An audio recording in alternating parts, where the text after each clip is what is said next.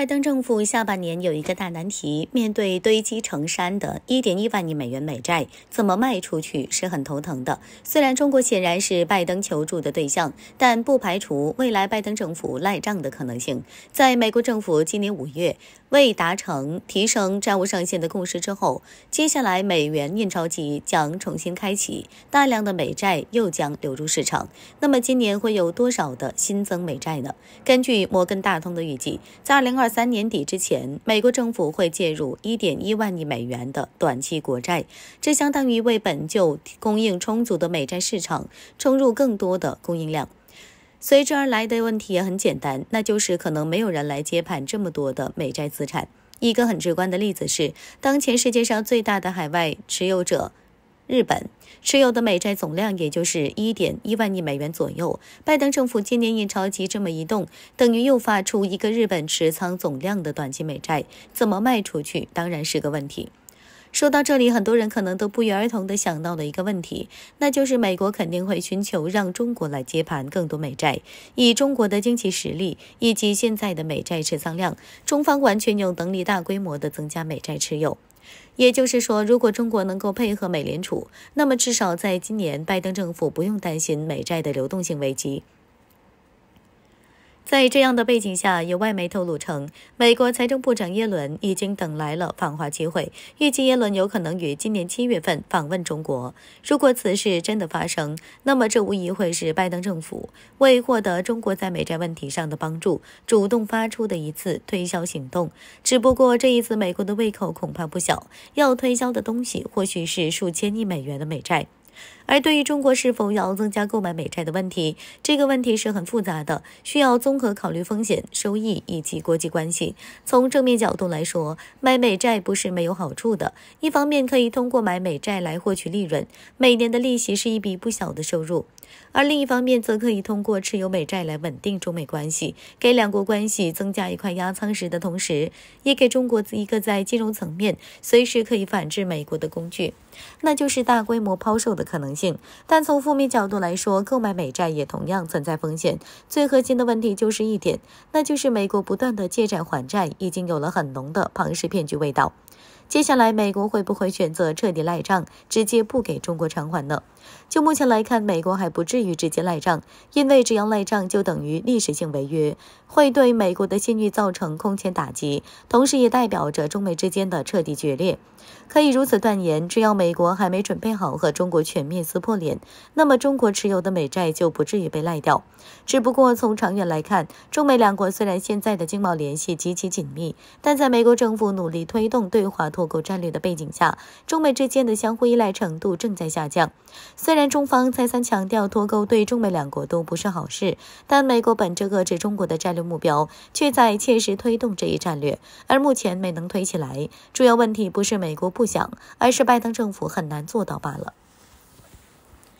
事实上，正如中方之前所提醒的美国的那样，中美关系已经跌入历史低谷，这是两国多方面关系的恰当描述。目前也没有看到两国关系真正回升的希望。如今，中美两国可能已经走到了全面脱钩的最后一步，这需要一个意外的推动，例如台海冲突的爆发，都可能造成两国的全面脱钩。而到那时，中国手中的美债资产安全性就是一个非常严肃的问题了。因此，中方需要早做准备，随时。应对各种可能的突发情况，中美之战不在南海、台海，而在中国最后一张底牌，中方已经开始破局。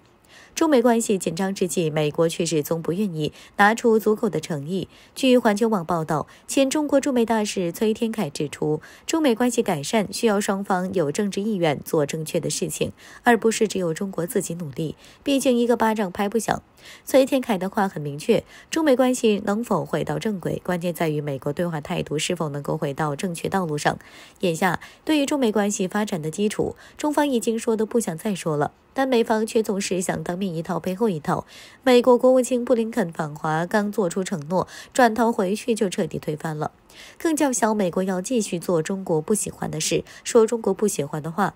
除了三番两次推翻对华承诺后，现在美国还不断试探介入台海、南海事务中。外界认为，现在中美冲突或许已经无法避免，但一旦彻底爆发的话，很可能会发生在台海、南海。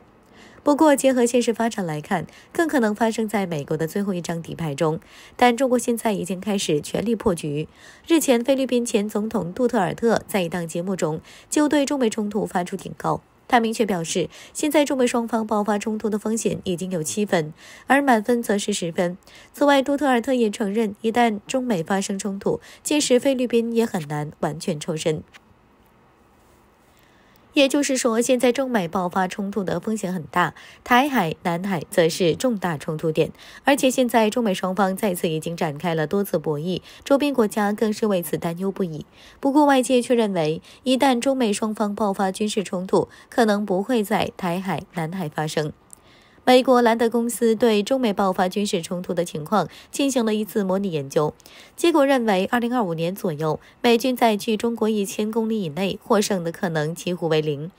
就算在距中国一千公里到二千两百公里的范围内，美军获胜的可能也不足百分之五十。这种情况下，美军想要在中美冲突中获胜，只有把战线延伸到距中国二千五百公里以外的地方。